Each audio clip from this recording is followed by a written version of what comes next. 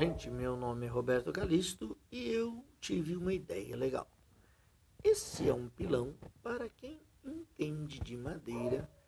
Esse pilão é de uma madeira chamada amarelinho, e ela só tem no norte do Brasil. Na verdade, ela não tem mais.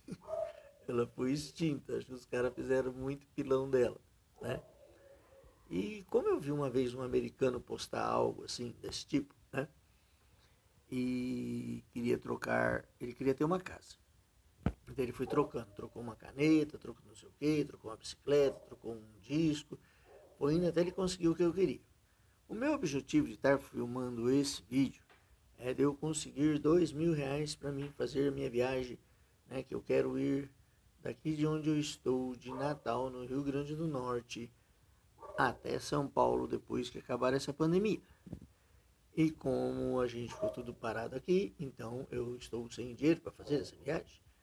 E daí eu bolei. Eu falei, eu vou pegar as coisas que eu tenho de mais valor, que até minha esposa falou, por que, que você vai vender? Você tem um valor sentimental por isso daí. Então, o meu sentimento agora está me falando que se eu tiver dois mil reais para mim fazer essa viagem, eu vou ficar muito mais tranquilo. E também eu não sei como é que vai estar lá em São Paulo na hora que eu chegar. Né? Então, assim que liberar a estrada. Ele é um pilão de uma madeira que eu já te falei, amarelinho, né?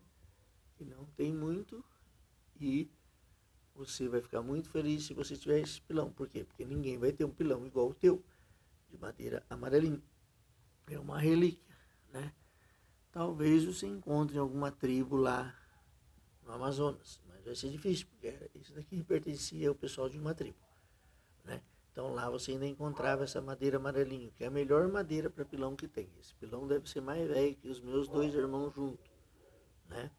Então eu estou vendendo ele por dois mil reais. É o primeiro lance. Quem ainda mais? Quem ainda mais, liga aí no meu zap, né?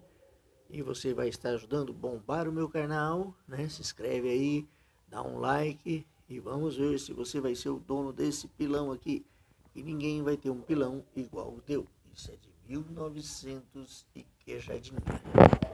Roberto Calisto, direto de Natal para vocês. Dá um like, se inscreve no meu canal e vai